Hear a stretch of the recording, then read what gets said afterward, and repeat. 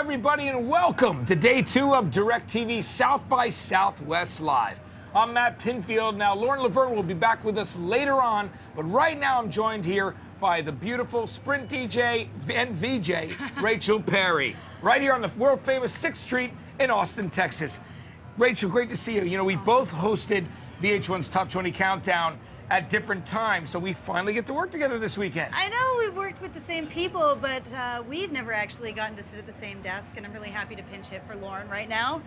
And um, we're back for another eight hours of live music happening here at America's biggest festival. Yesterday, we had phenomenal performances from Daryl Hall, Augustana, Hanson, Martha Wainwright, and many others. And it looks like it's going to be just as rocking today. It does indeed, because we've got Deana Carter, Ryan Cabrera, Joanna Cotton, hotly tipped Ting Tings, Daniel Lanois, and legendary LA punk band X, all live in our exclusive two venues, the Lone Star Lounge and the Bat Bar. I couldn't be more excited. I've been waiting my whole life to see X live. And it's the original lineup, and they're just great as ever. It's going to be great. And you know what? As well as the live music, we're going to have interviews from all of those artists and more.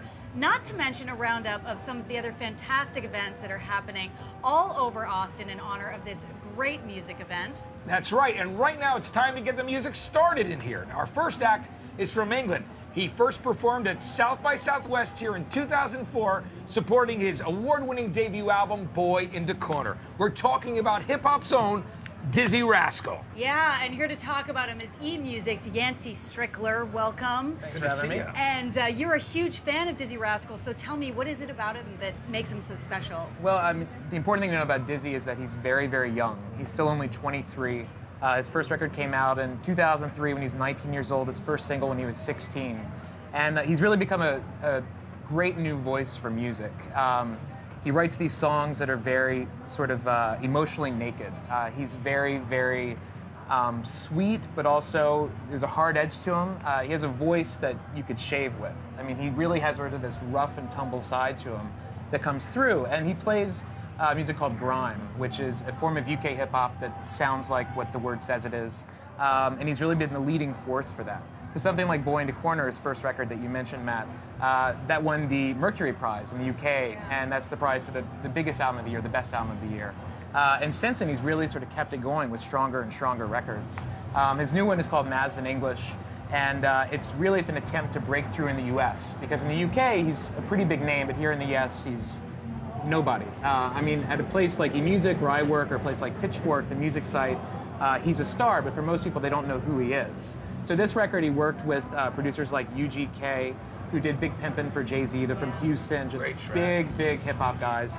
And so he's really trying to reach a broader audience. Um, so we'll see what happens. I mean, he's going to be playing the Pitchfork Music Festival this summer in Chicago, which will be a big, like 20,000 people there to see him. So that'll be a big opportunity, and you know, I, I, hope he comes through. Like he's he's very strong. I'd love to see that. And you're here too, working with a project as well. Tell us a bit about the thing you're doing with eMusic. Yeah, well, I, I work eMusic is a uh, is a download service like iTunes. It's actually the second biggest one after iTunes, and um, we really sort of prize discovery, finding new artists, much like you do here at South by Southwest. And so we developed this program called eMusic Selects, where we find unsigned artists or undersigned artists that we love, and we give them a lot of exposure. That's so, great that you do yeah. that, Yancey. Great site and great to see you again. Thanks, Thanks for Thanks coming for by. Me. Yancey Strickler, everybody from eMusic. Now, Dizzee Rascal will be kicking off today's live music right here after the break on DirecTV South by Southwest Live. So don't you go anywhere.